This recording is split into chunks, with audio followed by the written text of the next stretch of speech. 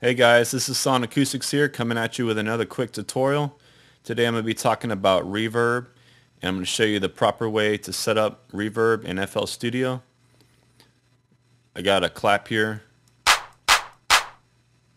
and I have it routed to insert 4 on my mixer. Now what a lot of people do is they'll go ahead and they'll put the reverb right there on their mixer channel.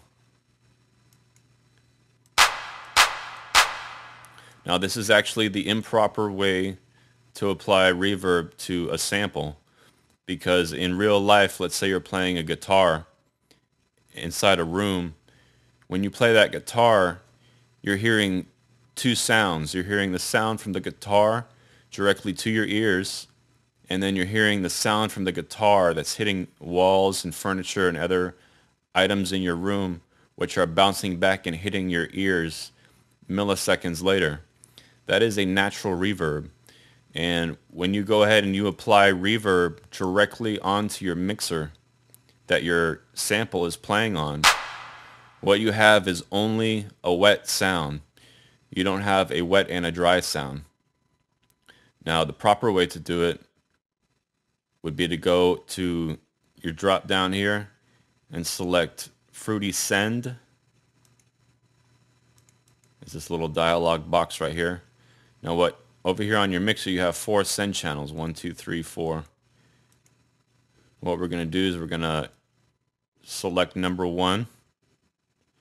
Then go to send one. And then we're going to add our reverb from there.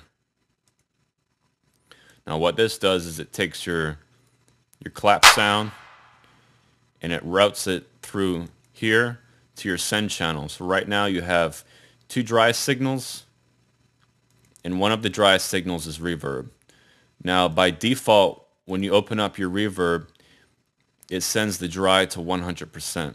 What you want to do is you want to drop this all the way down to zero. So that way you only have one dry sound over here on your insert and only one wet sound on your send channel. When this is pulled all the way up, you have two dries and one wet. So we want to make sure that we drop this all the way down. Now we'll go ahead and hear how it sounds.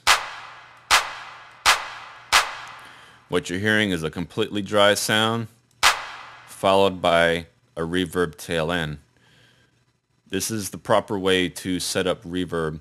The only exception would be is if you had a, let's say an effect sound and you really wanted that wet sound and you purposely wanted to add reverb to this channel, you could do that. But as far as vocals and most instrumentation, you're going to want to use a send channel for pretty much everything.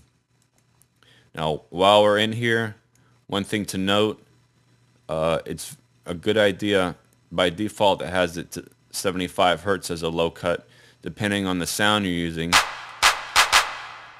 I'll go ahead and add an EQ so I can show you. The snare basically starts around 450, 500 hertz. So what we can do is we can bring this low cut up to about that same point. That's it guys, just a quick tutorial. Want to show you the proper way to set up reverb in FL Studio. Thanks for watching.